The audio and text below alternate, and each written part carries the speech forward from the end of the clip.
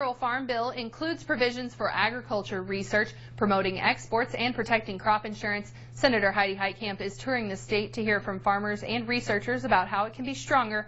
Her first stop was at the Northern Great Plains Research Lab in Mandan. There she heard from researchers looking into soil health, something they've done at that facility for more than 100 years. She says it's important to have independent research not paid for by big businesses.